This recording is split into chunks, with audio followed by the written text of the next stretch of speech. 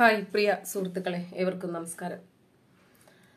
ഓരോരുത്തരും പ്രവാസികളാകുന്നതിന് പിന്നിൽ ഒരുപാട് ആഗ്രഹങ്ങളുടെയും സ്വപ്നങ്ങളുടെയും പ്രയാസത്തിന്റെയും ദുരിതത്തിന്റെയും കണ്ണുനീരിന്റെയും വേർപാടിന്റെയും എന്ന് തുടങ്ങി ഒരുപാട് കഥകൾ ഉണ്ടാകും ഒരുപാട് ഒരിക്കലും മറക്കാനാകാത്ത സംഭവ വികാസങ്ങൾ ഉണ്ടാകും എന്നാൽ സൊമാലിയ പോലെയുള്ള ഒരു നാട്ടിൽ നിന്ന് ഒരു സ്ത്രീ വീട്ടുജോലി അന്വേഷിച്ച് ദുബൈയിലെത്തുമ്പോൾ അവരുടെ കരിഞ്ഞുണങ്ങിയ പ്രതീക്ഷകൾക്ക് ഒരുപക്ഷെ അയവ് വരും എന്ന പ്രതീക്ഷയിലായിരിക്കും അവർ ഓരോ ദിവസവും തള്ളി നീക്കുന്നത്.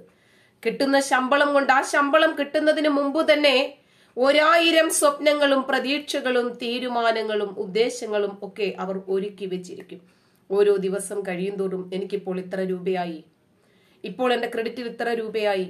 ആ മാസം ശമ്പളം കിട്ടിക്കഴിയുമ്പോൾ അവരനുഭവിക്കുന്ന ഒരു ആത്മനിർവൃതിയുണ്ട്. ഇതിനുവേണ്ടിയാണല്ലോ ഞാനിവിടെ ഒരു പക്ഷേ പലരുടെ കയ്യിൽ നിന്നും പലിശയ്ക്ക് പണം എടുത്തിട്ട് വരെയൊക്കെ ആയിരിക്കും വിസയും ടിക്കറ്റും ഒക്കെ ശരിയാക്കിയിരിക്കുക. വീട്ടുജോലിക്കെന്നും പറഞ്ഞ് വിസ കൊടുത്ത് ആ വീട്ട് ആ സ്ത്രീയിൽ നിന്നും എത്രയോ പണം ഓരോരുത്തർ ഈടാക്കുകയും ചെയ്തേക്കാം. അവിടെ പോയിട്ട് അകപ്പെട്ടു പോകുന്ന ആൾക്കാരും ഏറെയുണ്ട്. ജീവിതം ഒരു തുലാസിൽ അതല്ലെങ്കിൽ ഒരു ഞാണിന്മേൽ കെട്ടിയാടുമ്പോൾ കരിഞ്ഞുണങ്ങിയ പ്രതീക്ഷകൾക്ക് ആ കരിയിലെത്തും ഒരു പ്രതീക്ഷ തന്നെയാണ്. അങ്ങനെ അതിൽ പിടിച്ചായിരിക്കും അവരൊരു പക്ഷേ എങ്ങാനും രക്ഷപ്പെട്ടെങ്കിലോ എന്ന് പ്രതീക്ഷിച്ച് ഫ്ലൈറ്റ് കയറുന്നത്. അവിടെ എത്തി ജീവിതം കരുപിടിപ്പിക്കാൻ വേണ്ടിയുള്ള നെട്ടോട്ടത്തിനിടയിൽ ഒരാൾ പരിചയപ്പെടുന്നു. ആ പരിചയപ്പെടുന്നത് ഒരു മലയാളി കൂടിയാകുമ്പോൾ മലയാളി പൊളിയാണല്ലോ. മലയാളിക്ക് ആരെയും വീഴ്ത്താൻ തക്കവണ്ണമുള്ള വാഗ്മിയും പ്രാഗൽഭ പ്രാഗൽഭതയും ഒക്കെ അവർക്കുണ്ടാകും.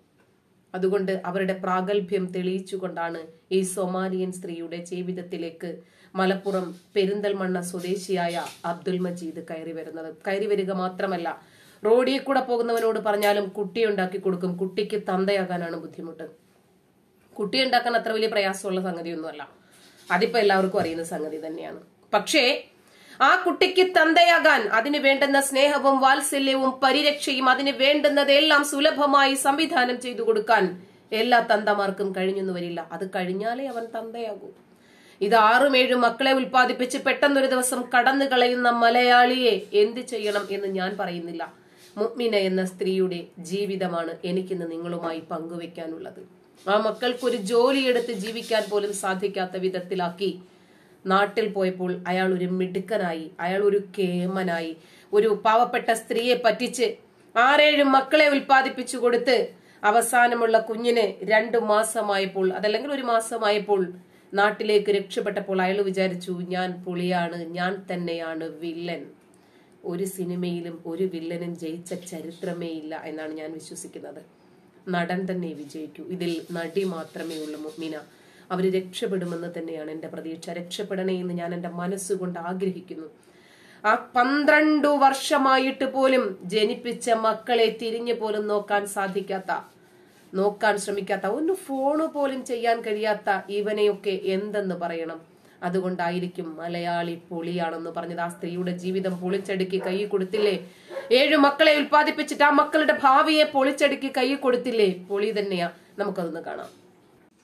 മലയാളിയായ ഭർത്താവ് ഉപേക്ഷിച്ചിട്ട് പന്ത്രണ്ട് വർഷം. ഒരു രാജ്യത്തെയും രേഖകളില്ലാത്ത ഏഴു മക്കൾ നിസ്സഹായയായി ഒരമ്മ.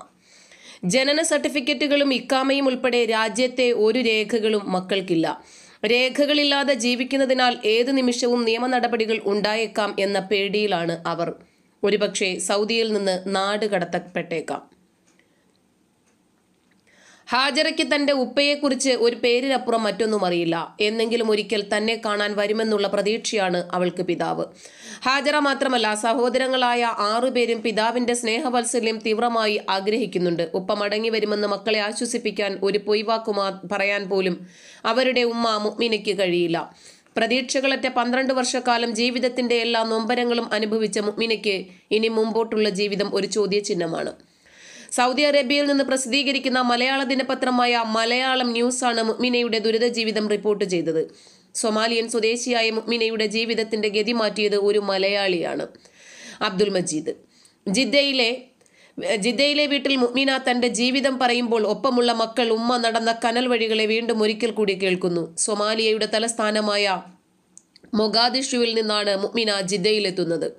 വളരെ ചെറുപ്രായത്തിൽ തന്നെ അവർ ജിദ്ദയിലേക്ക് താമസം മാറി. കുടുംബത്തിനൊപ്പം ജീവിതം മുന്നോട്ട് പോകുന്നതിനിടെയാണ് പെരിന്തൽമണ്ണ അമ്മിനിക്കാട് സ്വദേശി അബ്ദുൽ മജീദ് അവിചാരിതമായി മുഅ്മിനയുടെ ജീവിതത്തിലേക്ക് കടന്നു വന്നത്. സുഹൃത്തിന്റെ കടയിലെ പരിചയം പിന്നീട് പ്രണയമായപ്പോൾ അബ്ദുൽ മജീദ് മുക്മിനയും ഒന്നിച്ചൊരു ജീവിതം തുടങ്ങാൻ തീരുമാനിച്ചു. അവർ വിവാഹിതരായി. തന്റെ ജീവിതത്തെ തന്നെ കീഴ്മേൽ മറിക്കുന്ന ഒരു തീരുമാനമാകും വിവാഹമെന്ന് അന്ന് ചിന്തിച്ച അന്ന് മുഗ്മിന ചിന്തിച്ചിട്ടേ ഉണ്ടായിരുന്നില്ല. സ്നേഹവും സന്തോഷവും നിറഞ്ഞ ദാമ്പത്യ ജീവിതം ആ ബന്ധത്തിൽ അവർക്ക് ആറു മക്കൾ ജനിച്ചു. ഏഴാമത്തെ മകൾ ഹാജരയെ ഗർഭം ധരിച്ച സമയം പെട്ടെന്നൊരു ദിവസം അബ്ദുൽ മജീദ് നാട്ടിലേക്ക് പോയി. റീ എൻട്രി വിസയിൽ നാട്ടിൽ പോയ മജീദ് പിന്നെ മടങ്ങിയെത്തിയില്ല മജീദ് നാട്ടിലെത്തിയ ശേഷമാണ് മുഗ്മിന വിവരമറിഞ്ഞത്. ഭർത്താവ് തിരികെ വരുമെന്ന വിശ്വാസത്തിൽ അവർ ജീവിച്ചു. ഏഴാമത്തെ മകൾ ഹാജറ പിറന്നു. അവൾ വളർന്നു. അവളുടെ കണ്ണിന് കാഴ്ച മങ്ങുന്ന അസുഖവുമുണ്ട്. അബ്ദുൽ മജീദ് തിരികെ എത്തിയില്ല. ഇപ്പോൾ പന്ത്രണ്ട് വർഷങ്ങൾ കഴിഞ്ഞിരിക്കുന്നു. ഇതാണ് മക്കൾ.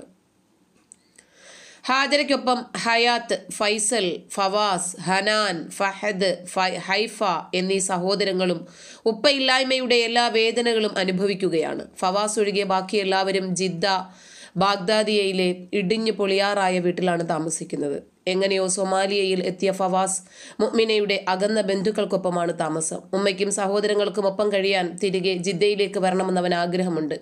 ജീവിതത്തിലെ ജീവിതത്തിന്റെ ദുരിതപർവം താണ്ടിയ മുഅ്മിനയ്ക്ക് മറ്റൊരു സങ്കടം കൂടിയുണ്ട്. ജനന സർട്ടിഫിക്കറ്റുകളും ഇക്കാമയും ഉൾപ്പെടെ രാജ്യത്തെ ഒരു രേഖകളും മക്കൾക്കില്ല. രേഖകളില്ലാതെ ജീവിക്കുന്നതിനാൽ ഏത് നിമിഷവും നിയമ നടപടികൾ ഉണ്ടായേക്കാം എന്ന പേടിയിലാണവർ. ഒരുപക്ഷെ സൗദിയിൽ നിന്ന് നാട് കടത്തപ്പെട്ടേക്കാം. ഒരിക്കൽ മകൻ ഫൈസൽ പോലീസിന്റെ പിടിയിൽപ്പെട്ട് യമനിലേക്ക് നാട് കടത്തപ്പെട്ടിരുന്നു. വളരെയധികം പണിപ്പെട്ടാണ് തിരികെ സൗദിയിലെത്താൻ സാധിച്ചത്.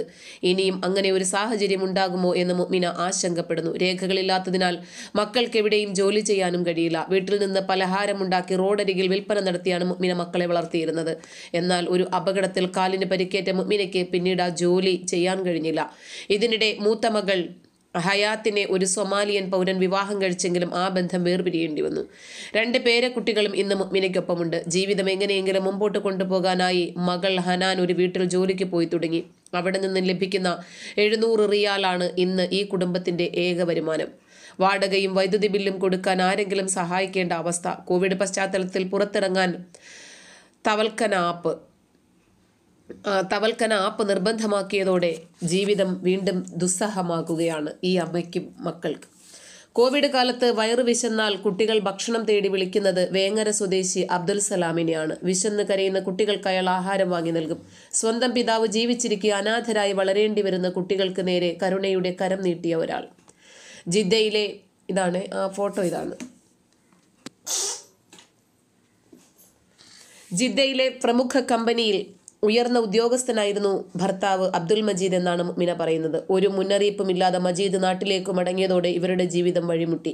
മുഅ്മിനയ്ക്കും മക്കൾക്കും ചെലവിനുള്ള പണം തുടക്കത്തിൽ എത്തിച്ചിരുന്നെങ്കിലും പിന്നെ അതുണ്ടായില്ല.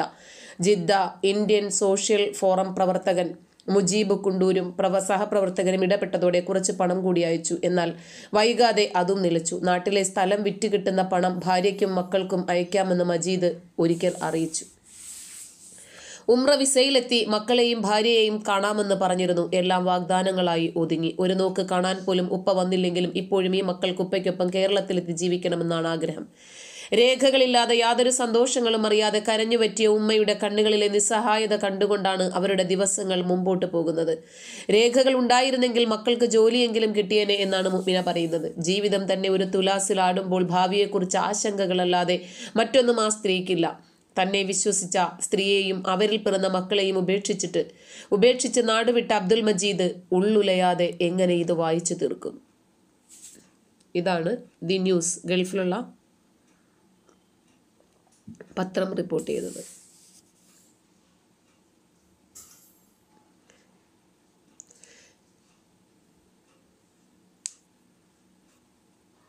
ജിദ്ദ ബാഗ്ദാദിയയിലെ പഴക്കമേറിയ ഒരു കെട്ടിടത്തിലാണ് മുഅ്മിനയും അവരുടെ ഏഴു മക്കളിൽ ആറു മക്കളും രണ്ട് പേരക്കുട്ടികളും ജീവിക്കുന്നത്. ഒരു മകൻ മുഅ്മിനയുടെ ജന്മനാടായ സൊമാലിയയിലാണ്. പെരിന്തൽമണ്ണ സ്വദേശി അബ്ദുൽ മജീദിന്റെയും മൊമിനയുടെയും മക്കളാണിവർ.